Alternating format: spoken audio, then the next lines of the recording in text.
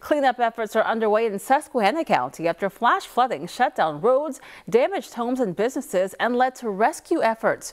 Newswatch 16's Jack Culkin joins us live in the studio with a closer look at the damage. And you went there earlier today, Jack. Lisa, yes, we did. And the water was still rushing, but that quickly turned parking lots yesterday into rivers as business owners in Clifford Township had to work fast to keep their inventory and stores safe from another round of flash flooding shot back last night right. for hours. Remnants of mud and muck can still be seen across the floors and parking lot of Clifford Beverage on Monday after flash flooding surrounded the business along Route 106 over the weekend.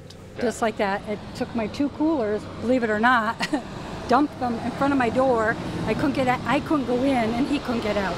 Owner Tammy Kohinski says the water left her and her husband stuck inside the business for hours on Sunday.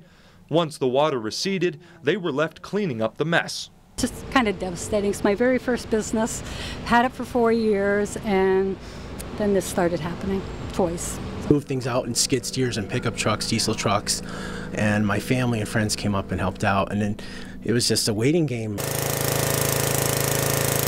Just across Dundaff Creek, Bill Wagner, owner of Wagner's Clifford Pharmacy, worked to get the store back up and running after being flooded twice. We had a huge um, wave of water come across the road, but thankfully we didn't get any uh, water into the pharmacy. And until things clear, Wagner asked people to stay home.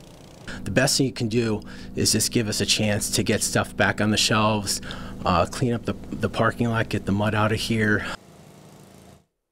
Businesses in Clifford Township hope to reopen tomorrow. Coming up on Newswatch 16 at 6, we'll check in with homeowners also cleaning up after the storm.